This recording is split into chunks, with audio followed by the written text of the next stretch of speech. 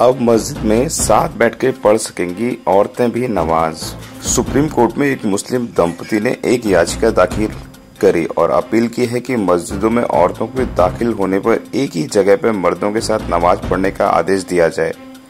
पुणे के एक दंपति ने मुताबिक उन्होंने एक मस्जिद में नमाज़ पढ़ने के लिए गए और उन्हें रोका गया। बाद में उन्होंने सुप्रीम कोर्ट में याचिका दी। इस पर सुप्रीम कोर्ट ने केंद्र राष्ट्रीय महिला आयोग central Waqf council of India के मुस्लिम पर्सनल लॉ बोर्ड को एक नोटिस जारी किया है। जस्टिस एस ए बोबड़े की अध्यक्षता वाली खंडपीठ में पुणे की दंपति की याचिका को स्वीकार करते हुए नोटिस जारी किया है। सुप्रीम कोर्ट ने कहा कि हम आपकी याचिका सबरीमाला पर हमारे फैसले की वजह से सुनवाई कर सकते हैं। मौजूदा समय में धर्म औरतों के मस्जिद में दाखिल होने और मर्दों के साथ नमाज़ पढ़ने के बारे में क्या कहता है? औरतों के मस्जिद में दाखिल होने पर कुरान में कोई रोक नहीं बताई गई है।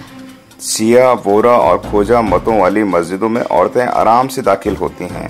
इस्लाम के सुन्नी मत को मानने वालों से कई लोग औरतों का मस्जिद में जाना ठीक नहीं समझते, इसलिए सुन्नी मस्जिदों में औरतें नहीं जाती।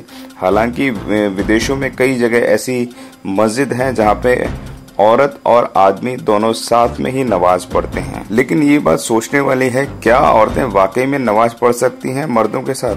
कुरान और अरबी भाषा में पढ़ाई अक्सर मस्जिदों में या मस्जिदों से लगे हुए मदरसों से होती है, और इनमें लड़के लड़कियाँ सभी शामिल होते हैं। नमाज़ पढ़ने और वज़ू करने पर कोई रोक टोक नहीं है, पर मर्द और औरतों के लिए इसकी जगह अलग अलग बनाई गई है। कई मस्जिद मतों के मुताबिक नहीं होती, ऐसे में शिया सुन्नी एक ही इमाम के पीछे नमाज़ पढ़ते हैं। अगर कोई औरत मस्जिद में नमाज़ पढ़ना चाहे तो इमाम से कहकर पढ़ सकती है। इसके लिए अलग जगह दे दी जाएगी उसको। याचिकाकर्ताओं ने केरल के सबरीमाला मंदिर में औरतों को जाने पे अनुमति देने वाले सुप्रीम कोर्ट के आदेश का हवाला दिया और उन्होंने ये भी कहा कि मक्का में भी औरतें मर्दों के साथ काबा की परिक्रमा करती हैं, ऐसे में मस्जिद में उन्हें मर्दों से अलग हिस्से क्यों रखा जाता है? हालाँकि मक्का में मस्जिदों में भी नमाज़ पढ़ने के वज़ू करने के लिए मर्दे और औरतें के लिए अलग ही हिस्से तय किए गए हैं, ऐसा दुनिया के सभी मस्जिदों में किया जाता है। याचिकाकर्ताओं से इसे भारतीय संविधान के तहत तय किया गया है कि मूल अधिकार का उल्लंघन बताते हैं। अब ये फैसला सुप्रीम कोर्ट और मुस्लिम लॉ के अधीक्षक ही करेंगे।